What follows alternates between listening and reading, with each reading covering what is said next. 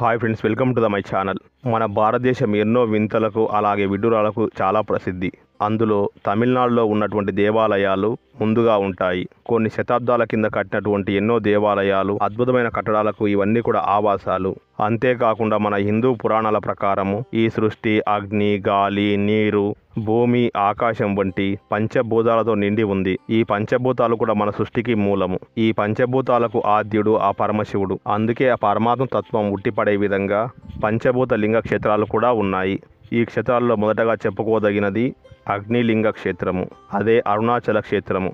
ఒక కొండనే పరమశివుడిగా భావించి ప్రదక్షిణలు చేసే క్షేత్రము. ఆ పరమశివుడు నాలుగు రూపాల్లో కొలువై ఉన్న క్షేత్రము. ఈ క్షేత్రం గురించి ఆలోచన చేసినా చాలు. పునర్జన్మ నుంచి విముక్తి కలుగుతుంది అని భక్తులు నమ్మే అత్యంత పరమ పవిత్రము అయిన క్షేత్రము ఇది.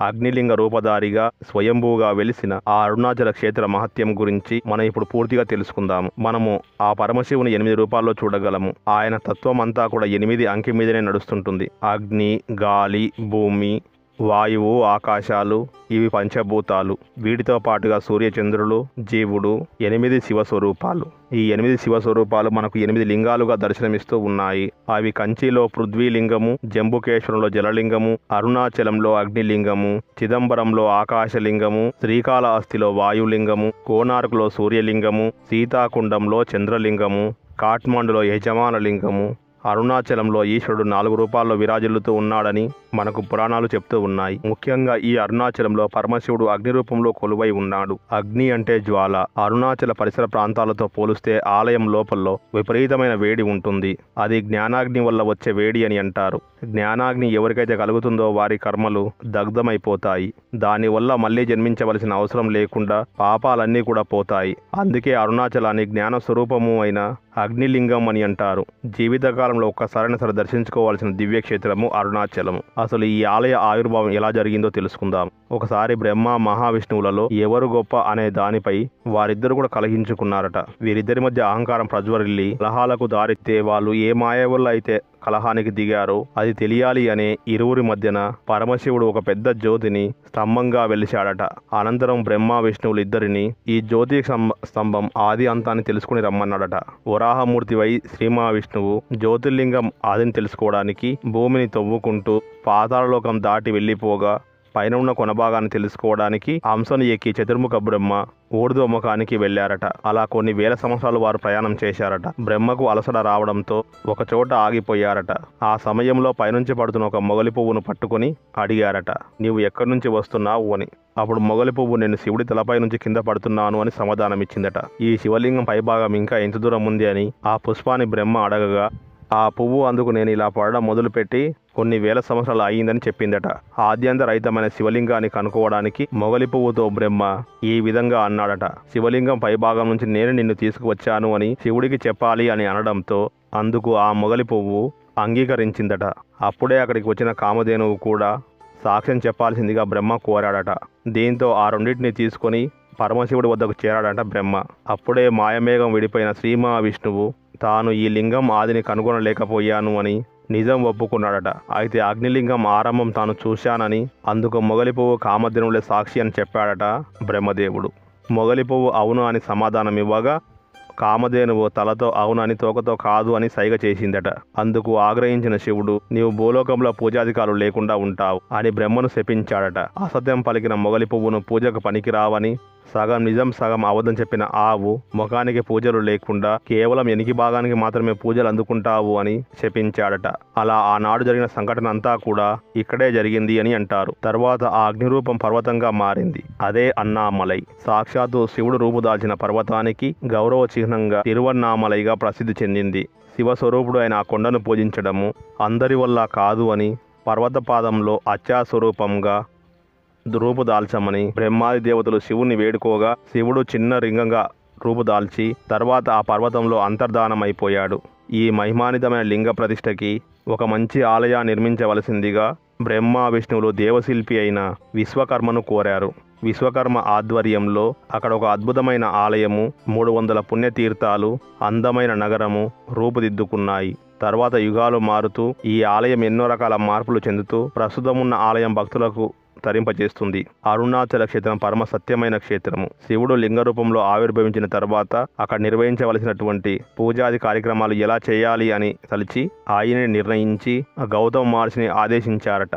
అరుణాచలంలో ఎలాంటి సేవలు ఉండాలి ఎలాంటి ఆలయాలు ఉండాలి ఉండాలి ఎలాంటి పూజలు చేయాలి అనే విషయాలను నిర్ణయించిన వాళ్ళు గౌతమ మహర్షి.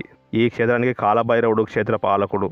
స్థలవృక్షము ఇప్ప చెట్టు అమిత కుచాంబ అన్న పేరుతో అమ్మవారు ఇక్కడ ఉంటారు. విఘ్నేశ్వరుడు సుబ్రహ్మణ్య స్వామి పాతాళలింగం కూడా ఇక్కడ ఉంటాయి. అంతేకాకుండా ఈ ప్రదేశము ఎంతో మంది సిద్ధ పురుషులకు పరమ పవిత్రమైన స్థలము. ఇక్కడ ఎప్పుడూ కూడా దేవతలు కూడా గిరి ప్రదక్షిణ చేస్తూనే ఉంటారు. ఈ పర్వతం అంతా కూడా శివ స్వరూపమే. ఈ క్షేత్రంలో ఒక మినహాయింపు కూడా ఉంది.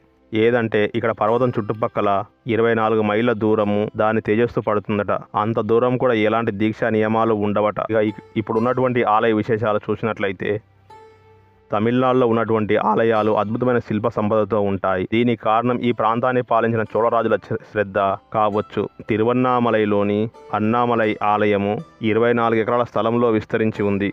నాలుగు వైపుల నాలుగు ఉన్నత గోపురాలతో ఉండే ఈ ఆలయము వాస్తు శిల్ప నిర్మాణ పరంగా ఎంతో అపురూపమైనది. ఆలయంలో మొత్తం ఆరు ప్రాకారాలు తొమ్మిది గోపురాలు ఉన్నాయి. ఆలయ ప్రాంగణంలో అనేక మండపాలు ఉప ఆలయాలు కూడా ఉన్నాయి. ఇక ఈ ఆలయంలో ముఖ్యంగా మూడు ఉత్సవాలు జరుగుతూ ఉంటాయి. ఆలయంలో వలయాకారపు మండపం ఉంటుంది. అక్కడ అమ్మవారికి గాజులను సమర్పించుకుంటారు. ఇక కార్తీక మాసంలో జరిగే మరొక గొప్ప ఉత్సవము దీపోత్సవము. దీని అత్యంత వైభవంగా నిర్వహిస్తారు. ఇక కన్నుల పండుగ జరిగే ఉత్సవము పార్వతీ పరమేశ్వరుల మధ్యన వచ్చే ప్రణయ కలవోత్సవము ఎందుకు వారి మధ్యన ప్రణయ కలయం వచ్చింది అంటే ఇందుకు ఒక పురాణ కథను కూడా చెప్తూ ఉంటారు. ప్రమద గణాల్లో బొంగి కూడా ఒకరు. ఆయన శివుడికి మాత్రమే భక్తుడు. కేవలం ఆయనకు మాత్రమే ప్రదక్షిణ చేసేవాడు. ఇలా రోజు చేస్తూ ఉండడంతో ఒకరోజు అమ్మవారికి ఆగ్రహం వచ్చిందట. ఏం చేస్తాడో చూద్దామని బృంగి వస్తూ ఉంటే అమ్మవారు పరమశివుడు ఎడమ భాగంలోనికి వెళ్ళిపోయి అర్ధనారేశ్వర రూపాన్ని ధరించారట.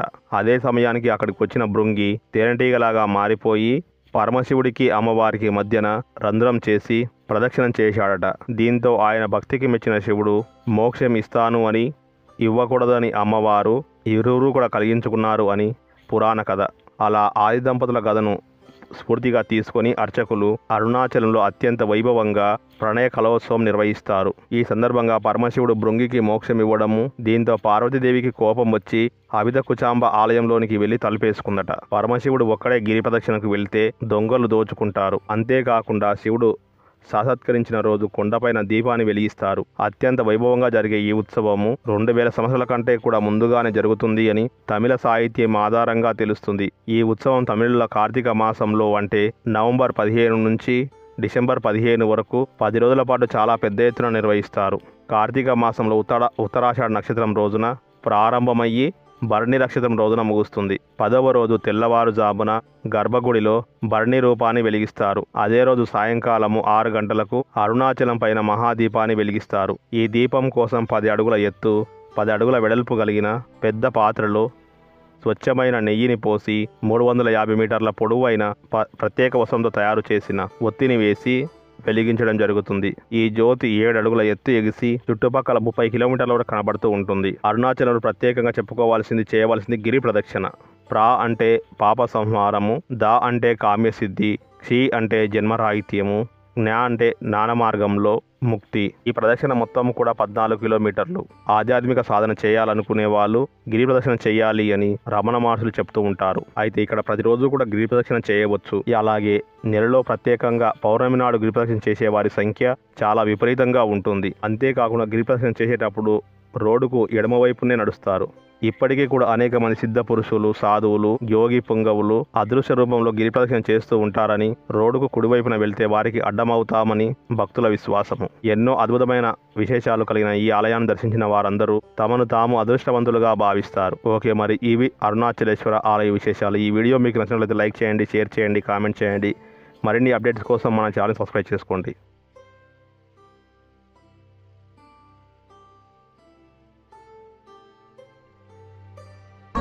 解答